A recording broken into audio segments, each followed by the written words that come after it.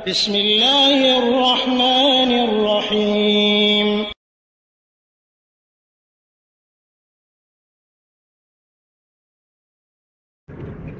আলহামদুলিল্লাহ কাফা সালাম আলা ইবাদিহিল্লাদিন আস্তফা মাবাদ সম্মানিত ভাই জানতে চেয়েছেন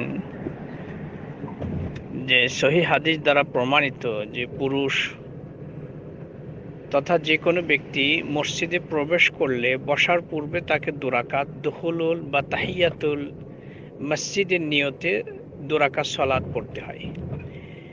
মহিলারা বাসায় নামাজ পড়লে এই দুহুলুল মসজিদের নামাজ তারা কীভাবে পড়বে না তাদের পড়তে হবে না। ভাই হাদিসে যে শব্দটি এসেছে, রসুল আকরাম সাল্লাহ সাল্লাম বলেছেন ইজা দাখাল আহাদুকুমুল মসজিদ ফালা ইয়াজলিস হাত্তা ইউসাল্লি আরাকাতাইন তোমাদের যে কোনো ব্যক্তি যখনই মসজিদে প্রবেশ করবে, সেজন্য দুরাকাত নামাজ না পড়ে না বসে।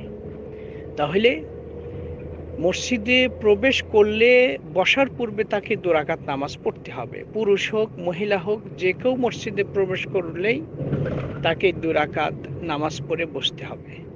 সুতরাং কোনো ব্যক্তি যদি মসজিদে না যায়, বাসায় যদি নামাজ পড়ে, তাহলে সেই ক্ষেত্রে দুখলুল মসজিদ তার আর প্রয়ের প্রয়োজন নেই। বা কেন পড়বে সে? সে তো মসজিদ, বাসাটা তো মসজিদ না।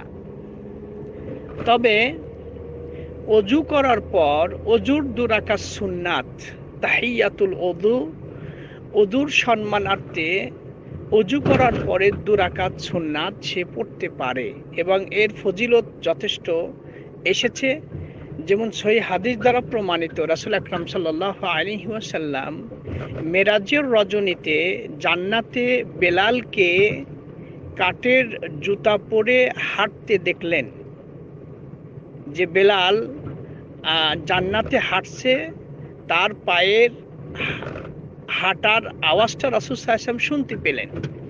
মেরাজ থেকে প্রত্যাবর্তন করার পর বেলালকে জিজ্ঞেস করলেন, বেলাল, এমন তুমি কি আমল করো যে আমলের বিনিময়ে আল্লাহ সুবহানাহু তোমাকে এই মর্যাদা দান করেছেন? তখন বেলাল বললেন, ইয়া রাসূল আল্লাহ সাল্লাহ আলী সাল্লাম আমি তেমন বেশি আমল করতে পারি না। তবে যখনই অজু করি, অজু করার পর আমি ইচ্ছে মতন আল্লাহ যতটুকু আমাকে তৌফিক দেন, আমি নামাজ পড়ি। তাহলে অজু করার পর কেউ যদি দুই রাকাত নামাজ পড়ে, তাহলে কিন্তু সে এই ফজিলত লাভ করবে।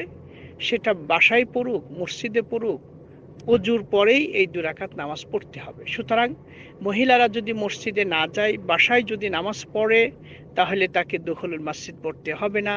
তবে অজু করার পরে ইচ্ছে করলে অজুর দুরাকা সন্ন্যত পড়তে পারবে। আল্লাহ আলিয়ুত তৌফিকা।